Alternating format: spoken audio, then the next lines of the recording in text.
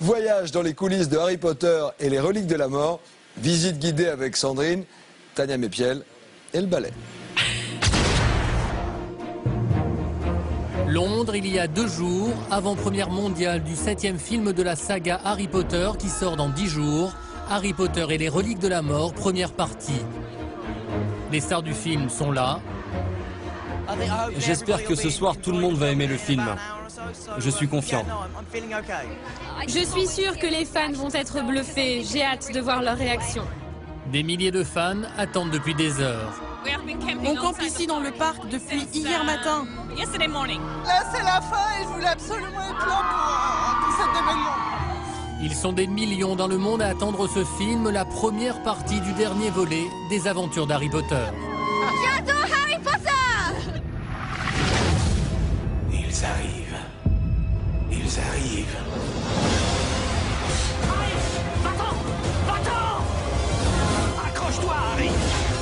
Personne d'autre ne mourra. Pas pour moi. Il faut faire quelque chose. Aidez-moi.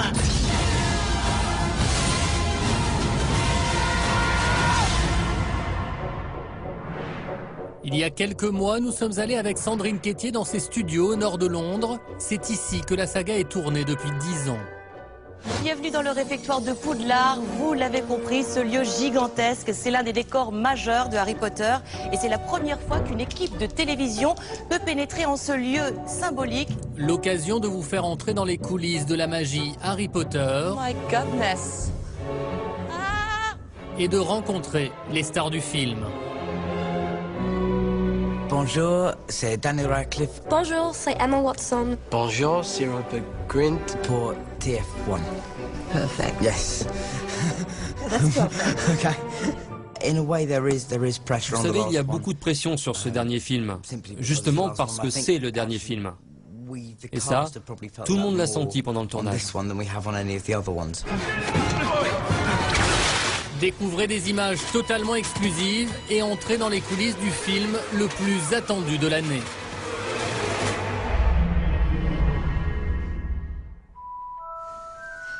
Nous sommes sur le tournage du septième film de la saga Harry Potter. Remember what we said. Don't speak to anyone unless absolutely necessary. Cette saga, les aventures de ces trois jeunes sorciers Harry, Ron et Hermione. It's really tricky. Correct. Completely mental. Completely. World's mental. À l'origine, un énorme succès de librairie devenu en 10 ans aussi connu que la saga Star Wars ou James Bond. Mais si les premiers volets étaient gais et féeriques, celui-ci est lui beaucoup plus sombre. Voldemort, le représentant du mal, veut à tout prix tuer les trois héros. Maître? Maître, donne-moi ta baguette. Eux ont dû fuir leur école Poudlard. Fini les robes et les manuels de sorciers, ils vivent désormais en fugitifs.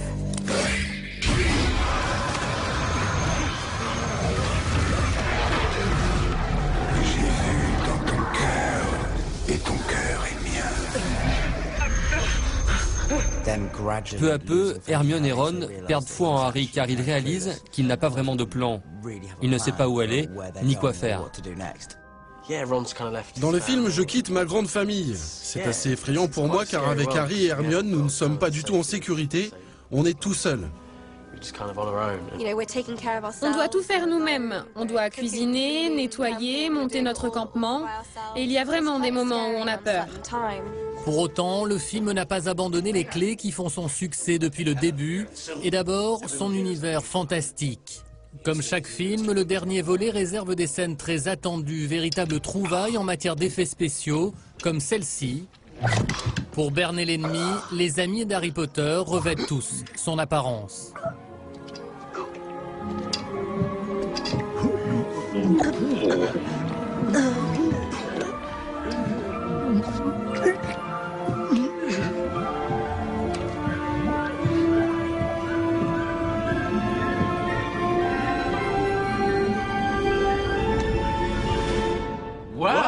Enfin, on est des vrais jumeaux Une scène derrière laquelle se cachent des heures de tournage. Daniel Radcliffe a dû incarner à lui tout seul les sept personnages.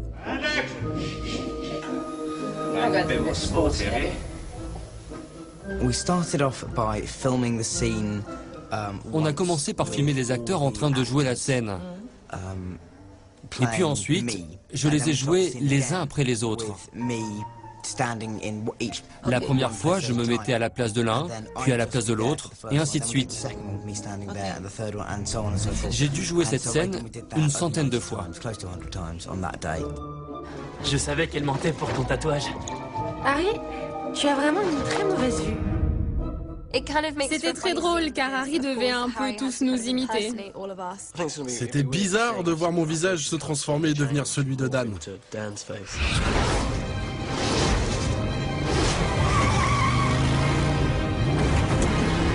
Fantastique s'ajoute toujours beaucoup d'action.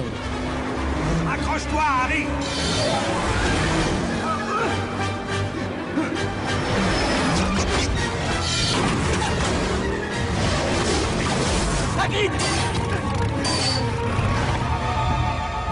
Des scènes très physiques à tourner pour les acteurs, qu'il s'agisse des courses-poursuites, Je ne cours jamais. C'est la première fois que je dois le faire depuis longtemps. Vous vous entraînez souvent? Non, mais je suis en forme aujourd'hui. Vraiment? Oui, vraiment.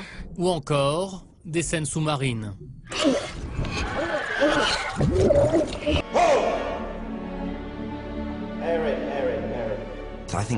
Depuis le début de la saga, j'ai dû passer en tout un mois et demi dans l'eau, alors maintenant je suis très à l'aise. Quant aux célèbres scènes de ballet, elles sont tournées ici, sur ce gigantesque fond vert, un des plus grands du monde. Sandrine a testé. Alors là, franchement, c'est du délire. Qui n'en a jamais rêvé?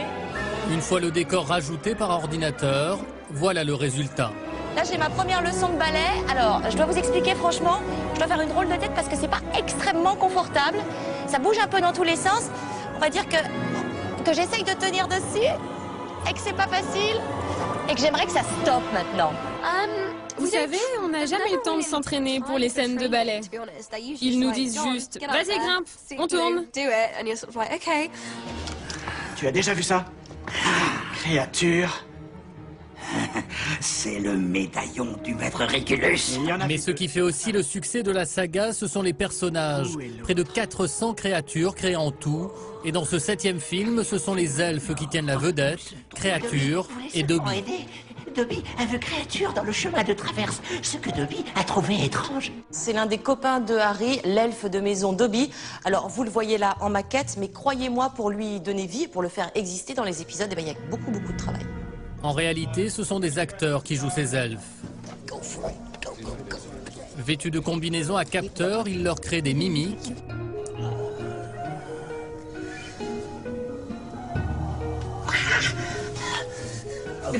Et sont ensuite remplacés par des images faites par ordinateur.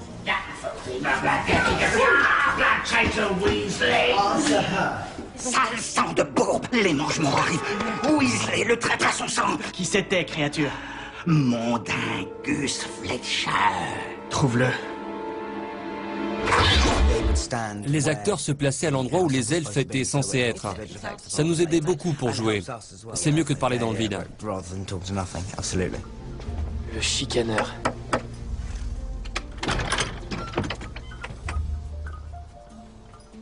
Qu'est-ce que c'est? Qui êtes-vous? Qu'est-ce que vous voulez?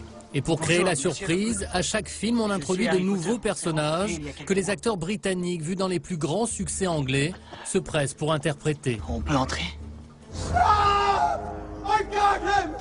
Voici Xenophilius Lovegood, alias Fans, vu dans Coup de foudre à Notting Hill. Et Rufus Scrimgeour, alias Bill Nighy, la star de Love Actually. Tout d'abord, à Ronald Bilius Weasley, je lègue mon déluminateur, dans l'espoir que, lorsque les choses lui paraîtront les plus sombres, il lui apportera la lumière. Harry Potter, c'est une institution. Pour un acteur anglais, c'est le film où il faut être. Avant de tourner ici, je commençais à me dire que j'étais le seul acteur anglais à ne pas jouer dans Harry Potter. Des personnages qui viennent pimenter les aventures des trois héros, et ce qui fait aussi le succès de la saga, c'est que le public suit aussi bien leurs péripéties que leur vie sentimentale. Dans ce septième film, ils ont grandi, On devine l'amour entre Ron et Hermione, mais Ron est en colère contre Harry. Ron pense qu'il se passe quelque chose entre Harry et Hermione, mais ce n'est pas le cas. Elle, elle est très amoureuse de lui, mais il ne le voit pas.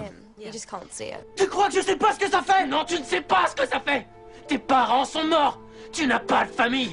Arrêtez Arrêtez. Alors va-t'en. Va-t'en. Harry et Ron ont une grosse dispute, du coup Ron s'en va et il disparaît pendant une bonne partie du film.